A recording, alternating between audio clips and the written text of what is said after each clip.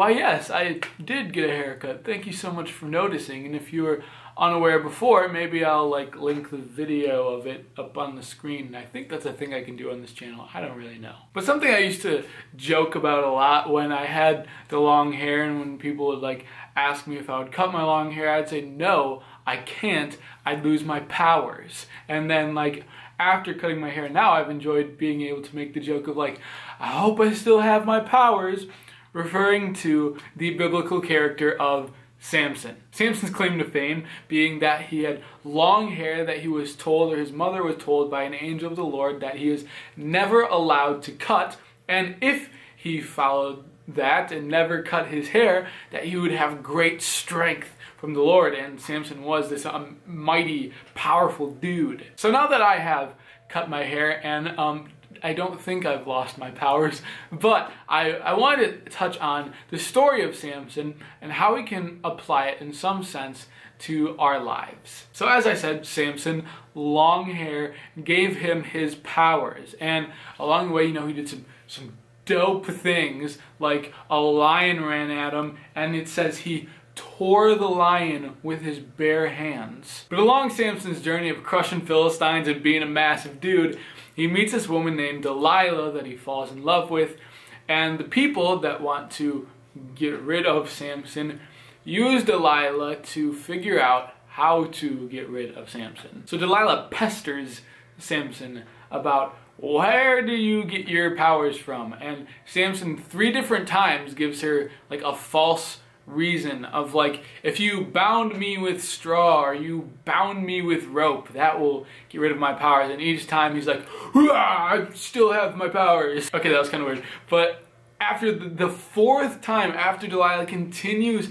pestering and pestering he finally gives in and tells her the secret that it's his hair that gives him his power and then of course the, he, he falls asleep she cuts his hair and game over. Here's how that applies to our lives.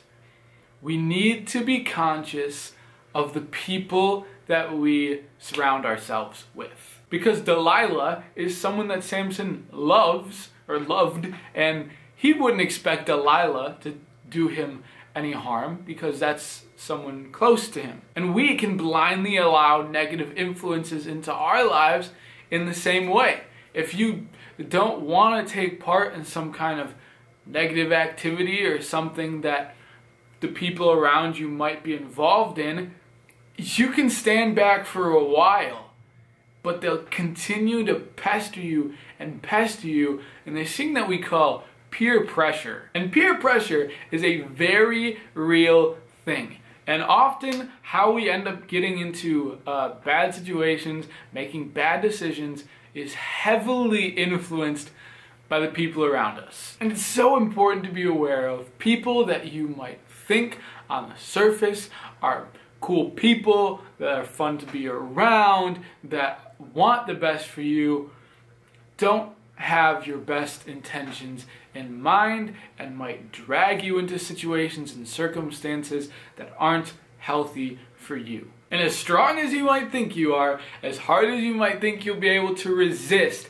eventually, if you are constantly surrounded by peer pressure, it's almost inevitable that you will give in like Samson. And the reality that you need to be aware of is that there are potentially toxic people that you might surround yourself with that have the ability to strip you of your powers. So we can look at the story of Samson and then look at our own lives and say, where am I experiencing this negative peer pressure and this pestering like Delilah that might potentially be stripping me of my God given powers and wonderful ability to be the best that I can be. So don't let people cut your hair. Be aware of the Delilahs in your life because you, my friend, are made for greatness and you have some fantastic powers that could be unleashed if you're not always surrounded by peer pressure.